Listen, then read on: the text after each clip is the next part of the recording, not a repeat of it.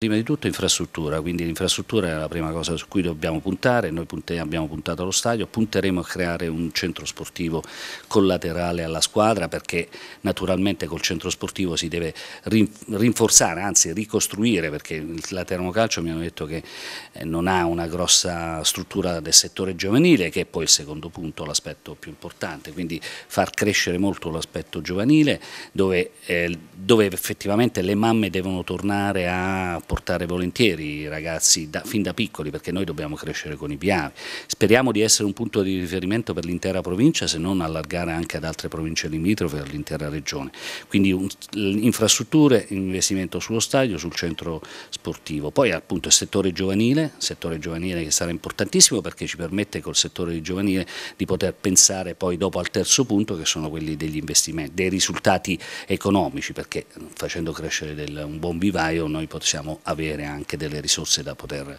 eh, spendere, vendere e, e, rispendere per la crescita della squadra.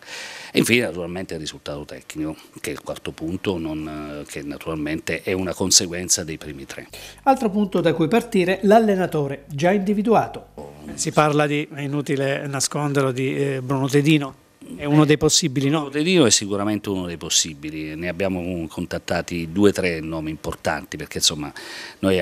vogliamo fare una squadra, poi naturalmente questa è una scelta che spetta direttamente ad Andrea Iaconi, quindi è lui la persona che deve organizzare, a cui ho affidato sinceramente le chiavi della, della macchina. Altra cosa da mettere in evidenza, il rispetto dei ruoli. In queste prime fasi io sono una persona che quando non conosce un argomento è molto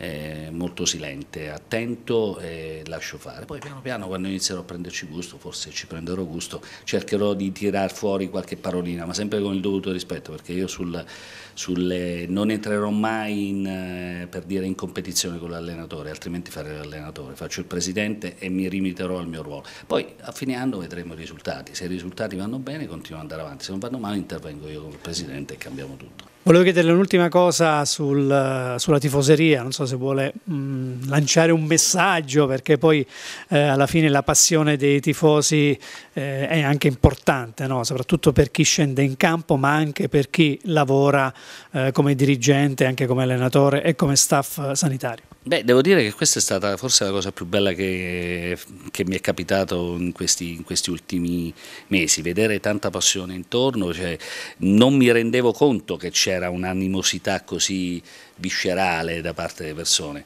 tanti attestati di stima, speriamo che possano essere mantenuti e li posso eh, dire, gratificare, però so benissimo che comunque sono, la tifoseria è molto volubile, quindi oggi si è re e domani si, si, cade nella fossa. No, devo dire che io spero, vedo, ho capito a Teramo che ci sono 3-4 gruppi di tifosi organizzati, spero che si possano riunire in un'unica fazione, ho letto già tanti attestati di stima da entrambe le parti e, questo mi farebbe piacere se ci fosse un segnale chiaro anche alla prima di campionato su, questo, su questa su questo segno unitario perché ho capito che si erano separati dopo il problema del, eh, della retrocessione in, dalla B alla C per motivi diciamo divergenti, vabbè assolutamente eh, rispettabili da entrambe le parti, però ecco diciamo che questa cosa, che questo rilancio, questa rifondazione della squadra possa dare una spinta anche alla, alla tifoseria di, di, di cercare un'unità perché comunque più, più si, è, si è uniti e sicuramente si crea ancora più forza da trasmettere alla squadra.